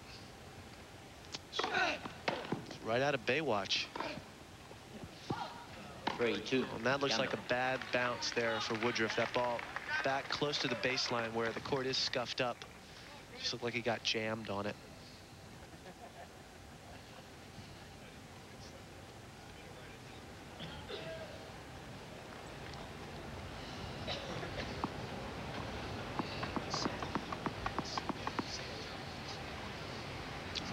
A break here for Gambill.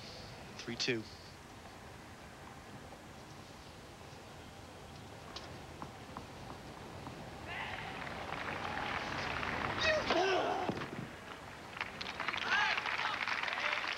brings the noise with a big serve out wide. Four, two. Gambill. Jan Michael Gambill with a 4-2 lead in the tie break. They're one set apiece. You know, Gambill 0 and 6 in, in his last six tiebreakers, so trying to kind of break that string right here, looking good. And center court, they are on serve. Earlier we were looking in on Pete Sampras and Francisco Clavet. And Marat Safin having some difficulties in the uh, third set on court one. Five, two. Make it 5-2 for Gambill. Gambill.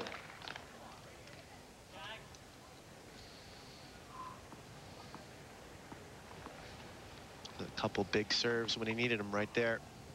Didn't have to hit any other shots. Always a luxury.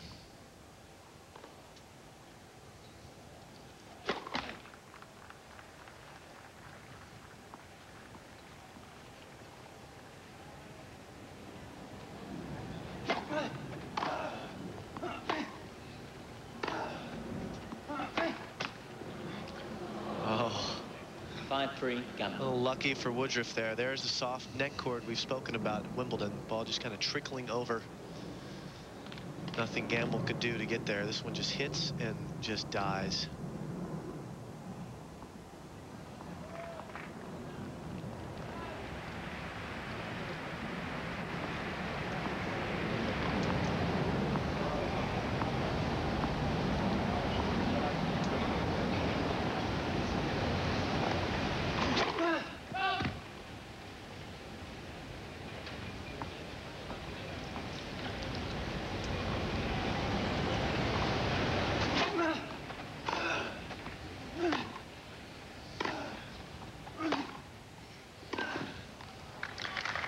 Couple good points for Woodruff there, but he had to work for his points.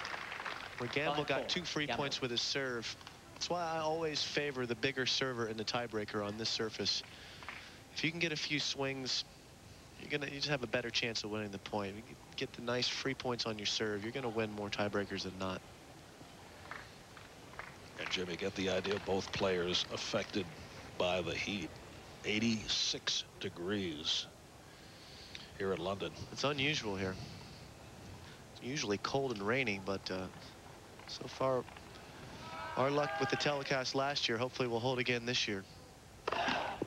Let for service.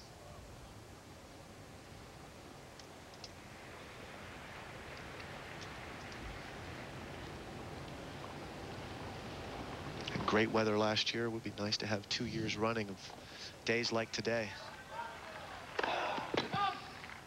Woodruff will get a look at a second serve here. 5-4. Points don't get a whole lot bigger than this. One set apiece.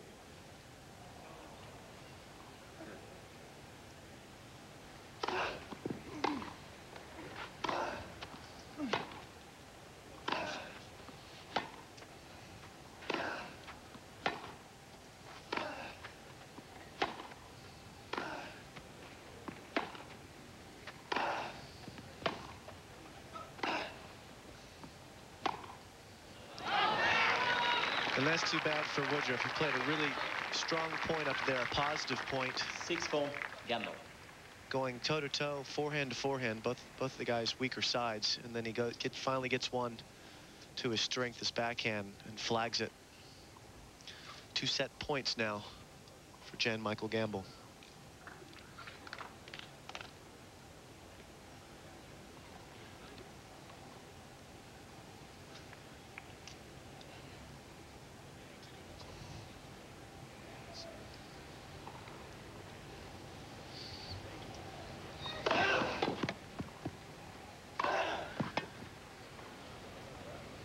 Bye-bye.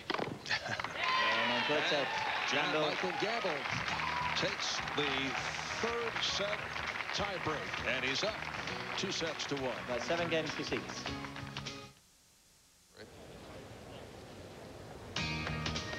Welcome back to Wimbledon. Day one here on TNT. 12 hours worth of coverage.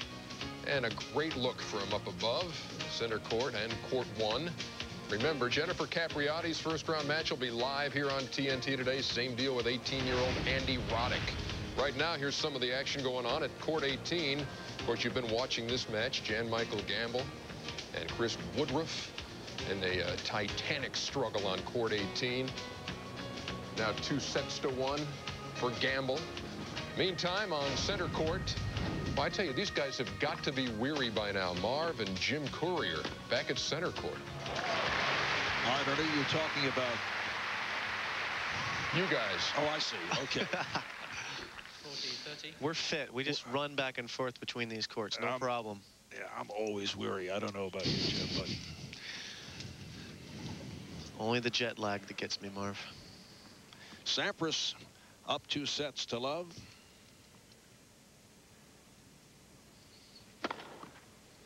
James Sampras. And Pete Sampras has taken a three games to two lead in the third set. Time. Back at Wimbledon. As this uh, capacity crowd at center court enjoys the the festivities. Some support for uh, Pete Sampras, the defending champion, last year winning for the seventh time.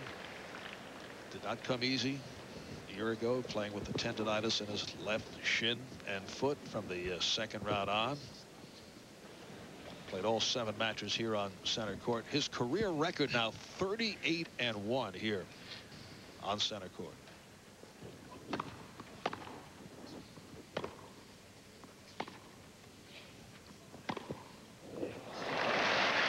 38 and 1 is that's insane. Biggest 15 court in the world, and he just made it his own backyard. Nice backhand pass here by Clavet. 30 love. Francisco Clavet, 32-year-old from Madrid, Spain. As we touched on earlier, he has finished in the top 50 the last seven years. Which is 40 love. very impressive. Now, Sampras has done it the last 11 years. Right. And you say top 50, and a lot of people say, well, 50, so what? But uh, that's... That's impressive. Yes. So that's a shot that, ooh, that's well done by Clavet. Get some appreciation from the crowd. Of course, the crowd here probably starting to root a little bit for Clavet. It's not that they want Sampras to lose. They just want to see a little more of Pete Sampras out here. It's commendable to be in the top 50 for seven years. It's strong. Sampras now in the top 10 for uh, probably close to 10 years, if not more. That's a little stronger. And for Clavet, his fourth love game on serve. So they're three all in the third. Pete Sampras is three points away from holding serve for 100th consecutive time at Wimbledon, dating back to last year's second round against Justin Gimelstob. That's pretty good. Yes.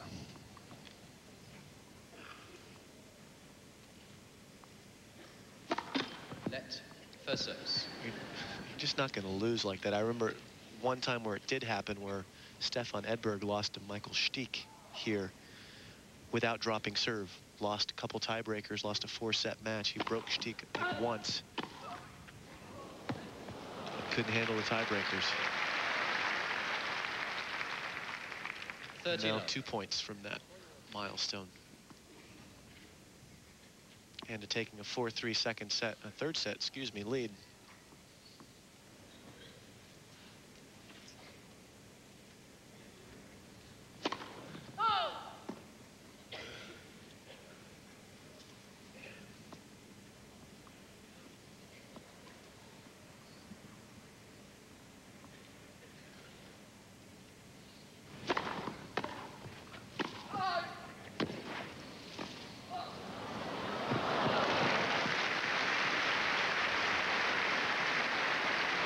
And now one point away from holding left. serve for a 100th consecutive time. I don't think Pete really cares about it, but it's kind of fun for us to talk about. The Only thing he cares about is holding up that golden trophy at the end of the two weeks.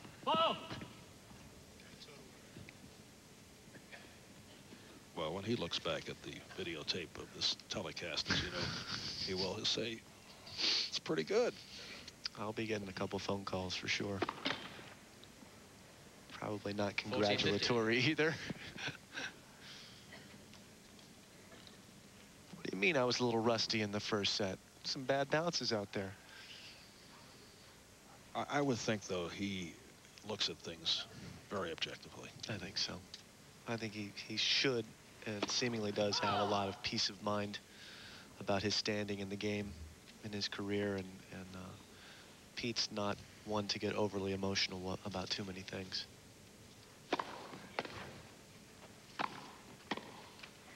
And Sampras. And Sampras holds serve for the 100th consecutive time here at Wimbledon.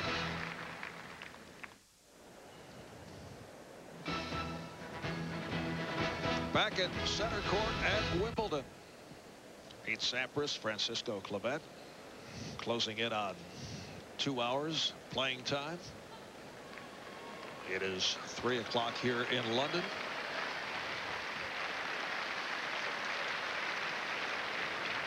Pete Sampras just a couple of games away from closing out a reasonably comfortable first round match if he can get a break of serve here.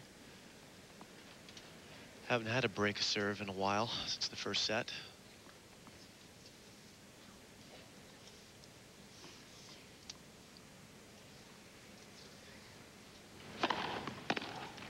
Fifteen love. I want to point out that last year was a third round match against Gimelstob, who unfortunately is injured this year. Came over, was preparing to play and hurt his back. And certainly send our best wishes out to Justin for a speedy recovery. Hope he'll be back in time for the U.S. Open. There's a sweet backhand down the line. Francisco Clavet.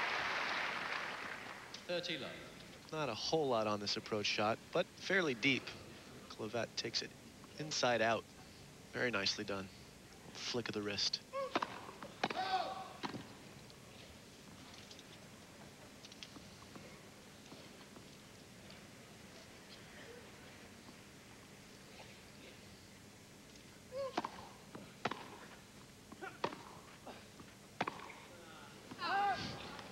Forty love. We were talking earlier about Francisco Clavet finishing in the the top 50 over the past seven years. And uh, right now he's number 30 on the ATP Tour rankings. That's just very consistent. Game Clavet. So he holds serve to take us to 4-all. Clavet, by becoming an all-court player, has been able to con continue to maintain that ranking in the top 50. If you're exclusively a clay court player like a lot of his countrymen from, from Spain are, it's very hard to maintain the ranking because you only have three to four months a year where you have a lot of points available to you in the clay court season. He's able to make points, for example, in Scottsdale where he had a win this year on a hard court. If you want to stay, stay highly ranked, you either got to win Roland Garros if you're a clay court player, or you have to become an all-court player. And for Clavet, his first tournament since he lost in the uh, first round of the French last month. But has had some huge victories this year.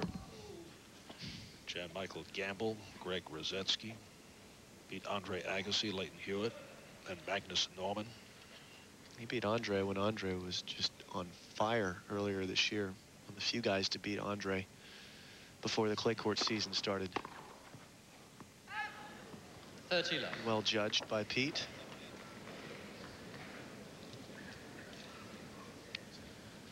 And an update on Marat Safin and Julian Knowle. Safin has been able to break back five apiece in the third. Marat Safin, 21 years old, out of Moscow, now plays out of Monte Carlo. Ho hum, 127 miles an hour down the tee for number 20. Just another day at the office for Pete Sampras. This is really the perfect opening match for him to play a guy like Clavet, who's going to give him rhythm and just allow Pete to really do what he wants to do, which is hit a lot of balls, kind of get the feel for the court again after a year. Perfect opening match for Pete.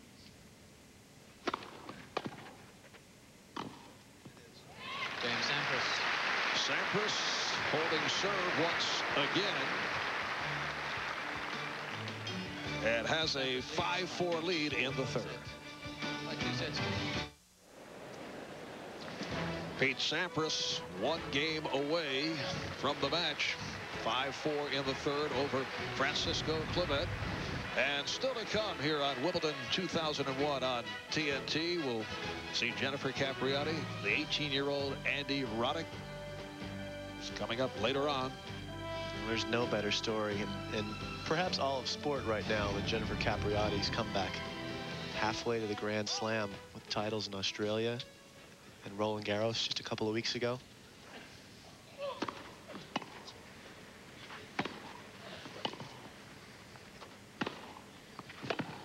Oh, thanks for coming, Francisco.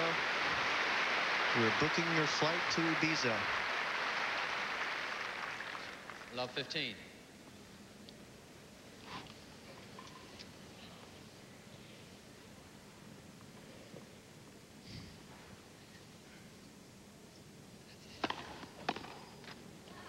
Fifteen all.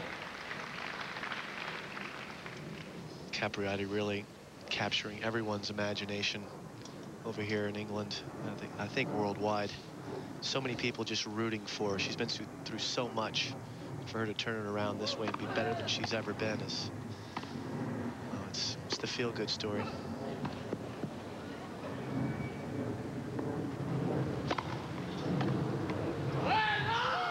Sampras wisely choosing to go right down the middle with that overhead, take away the potential error. 15 It's 30. very deep lob, and then Clavet had it right on his racket and not real pleased with that. He knows he should have at least gotten that ball back into play and made Pete hit one more shot. 15-30, two points away from first round victory for Pete.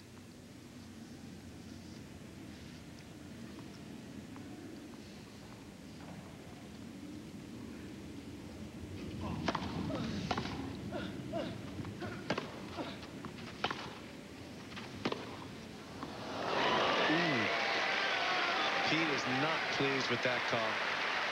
He made a great play coming in, putting the pressure on Clavet. Clavet comes up with the backhand, seemingly on the line. Let's see right here. We're going to see any chalk? Well, if the cameraman could do his job a little better. Jim taking a shot at the BBC. They can't hear us, Marv. those situations, generally you listen to the crowd. They're right there. Crowd a little restless on that call.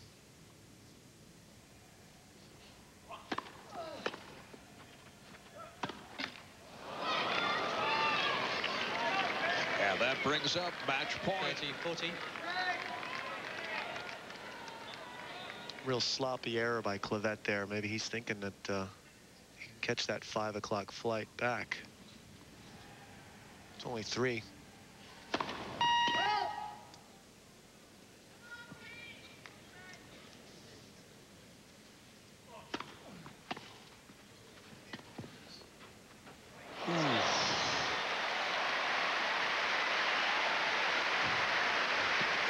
So Francisco Clavet still alive. Hanging around. Deuce. Pete gave the kind of lean like just blow it out a little bit, a little gust of wind. No such luck. Back at deuce.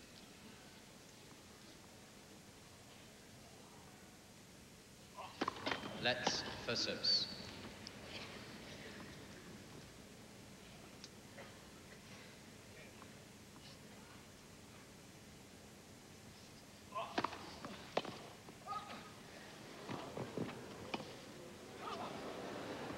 Through the legs. There it is. Could you see that one coming?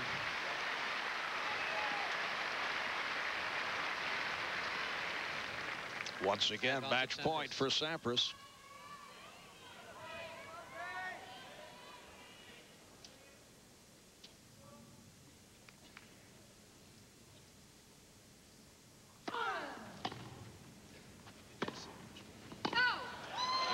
And Pete Sampras has won his opening round match in straight sets over Francisco Clavet of Spain.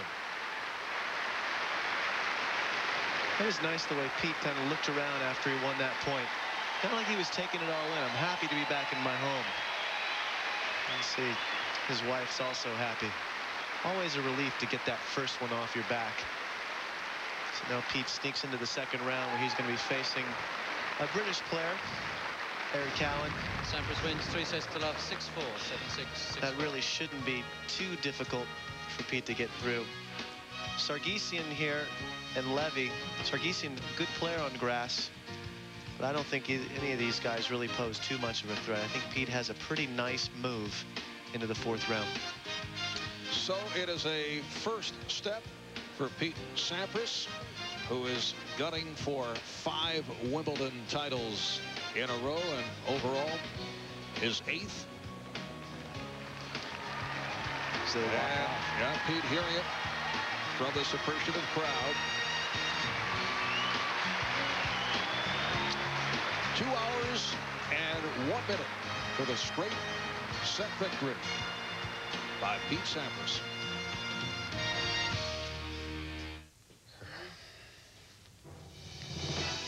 We welcome you back. Ernie Johnson in our studio, and you get a good look at London on a Monday afternoon at 3.13. And thank you, wherever you are in the States, for joining us today. We're with you for 12 hours. Got a good match going on. Marat Safin, who is the U.S. Open champion, won the first two sets. But the Austrian Knowle able to take the third set right there and send it to a fourth. Third set, no. Seven games to five. And so, work still to do for Marat Safin. Meantime, you've seen Pete, Pete Sampras already today win in straight sets, and his opener next on center court will be Jennifer Capriati. Now, here at Wimbledon in 1990, Jennifer Capriati became the youngest seed in Grand Slam history. She was only 14 and was seeded number 12. The next year, she made it to the semis on a run that included a win over Martina Navratilova. But just two years later, she dropped off the pro tour, unhappy and disenchanted with tennis. The next time a lot of people saw her, it was in a police mugshot after an arrest for drug possession. Fast forward now seven years, and here's that phenom slash troubled teen adding another moniker, two-time Grand Slam champion. Capriati is playing the best tennis of her life, and she sat down with Mary Carrillo to discuss that inner fire.